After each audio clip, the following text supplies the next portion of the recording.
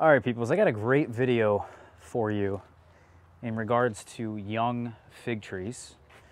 And I have two different types of trees here. I have uh, trees that you can see are just now waking up from dormancy. I just brought them out from underneath the sunroom because we're gonna do some pruning on them. We're gonna do some inspecting on them and also I'm just gonna leave them outside now that it is basically the spring. So they're just now waking up. As you can see, they're leafing out from their growth tips and they're ready to start the season.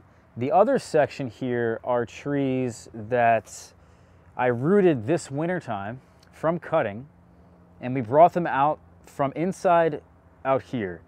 And we did it very quickly and therefore they have sunburn. And I've talked a lot about sunburn in the past. This is a real rookie mistake, but it happens to a lot of people. It happens to, uh, to me, obviously. Um, definitely has happened to me a number of different years. And if you're not careful when you bring them from a very low light environment outside to higher light conditions, if you do that too quickly, you give them too much light too soon, they're gonna get sunburn. And sunburn's very obvious. I'll show it to you what it looks like. It looks like sunburn. um, you can see on the leaves we've got some darker colors. even have some lighter spots here. You can see this silverish color, this brown, and then also some of the darker leaves really just look burnt. Here's another example. And eventually the leaves will just fall off. That's how you'll know it's sunburn.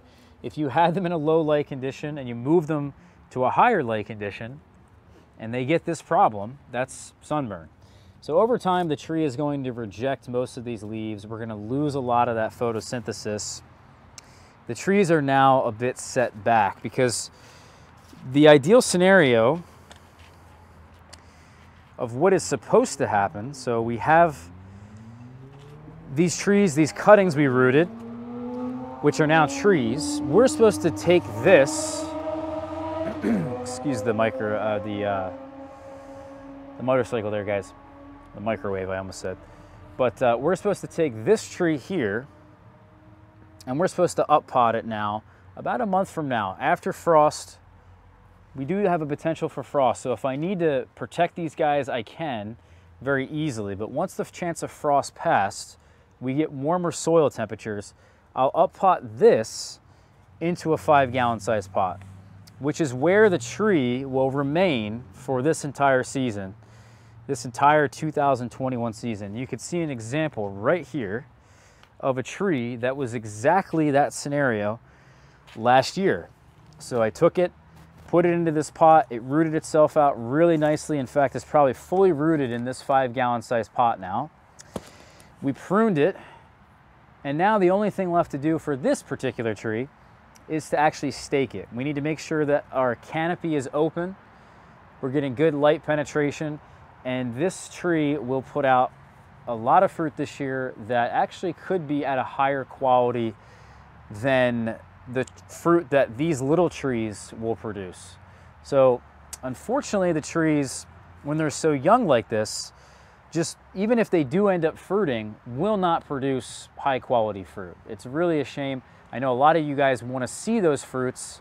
You want to taste the fruits in the first year, but it's a really bad representation most of the time, unless your tree really, really just takes off and you have a very long season that's very dry, it's quite unlikely that you're going to see the appropriate fruit quality that you're used to or that you should be seeing from that particular variety's genetics. So that'd be nice. We get some fruit off of these trees because that's kind of the plan, right? We put them into these larger pots. We get them to grow to the appropriate size that we're looking for. We get them established and maybe, fingers crossed, we get to taste some fruits. But now that we've, you know, had some sunburn here on these trees, and they've lost their leaves, it's looking a lot less likely that they'll look like this an entire year later. Yeah, there's still a chance. It's not totally lost for them, but they're certainly not going to be probably as strong or as well rooted as that five gallon size tree because we did this. We set the trees back yes, it is possible that the trees could, from this point, even though they've lost most of their leaves or all of their leaves, they could grow very vigorously from this point. It's still very early in the season. It's not a total loss, but it's not something we want to happen, right? We want to keep all those leaves. So that is, it is what it is here. And that's the little mistake I want to share with you guys regarding these smaller trees.